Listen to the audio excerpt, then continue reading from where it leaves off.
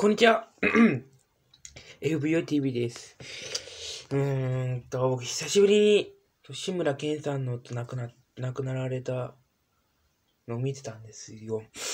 まあ、本当志村けんさんは本当に偉大な人なんだな、まあ、改めて感じるところなんですが、志村けんさんの兄にあたる人にマスコミが結構取材していたんですが、で、その志村けんさんの兄の奥さんがちょうどマスコミがと兄さんにと取材、取材を求めてる時にその奥さんが察してくださいって言ったにもかかわらずそのまま取材を続けるって。どんだけひどいんだって。本当になんかもう、マスコミはやり方はあるかもしれないけど、どうして、そのに、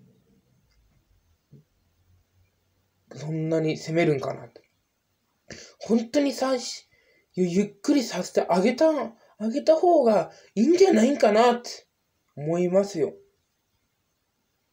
人は必ず、なんかで死ぬんですけど、死ぬ時は一番ショックなんですよ。な、まあ、亡くなった時はショックなんですよ。ですが、それでマスコミが本当に、なんか、せめて、気持ちだけ言言言ってくれないかって言ってましたけど、それもやっぱり違うんじゃないかなって。それに、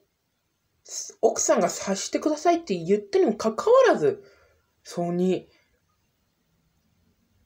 マスコミの人が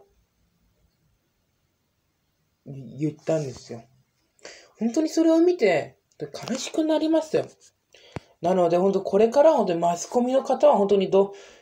コロナウイルスで亡くなられた方とかに本当に察して本当に少しだけ取材をする。本当に察するってことが大切だと思います。